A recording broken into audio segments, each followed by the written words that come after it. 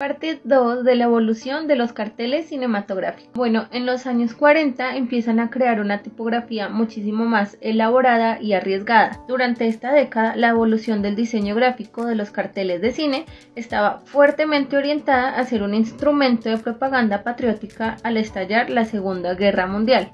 En los años 50 nace la televisión, por lo cual el cine tiene que buscar alternativas para poder adaptarse a los cambios, refugiándose en películas de fantasía, ciencia ficción y comedia.